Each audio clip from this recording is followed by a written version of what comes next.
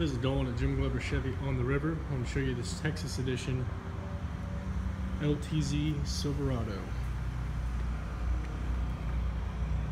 This one has a crimson red paint job, spray and bed liner.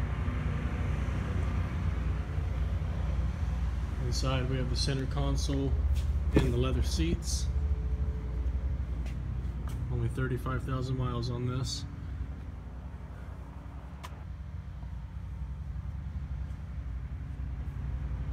And this is one of our premium vehicles.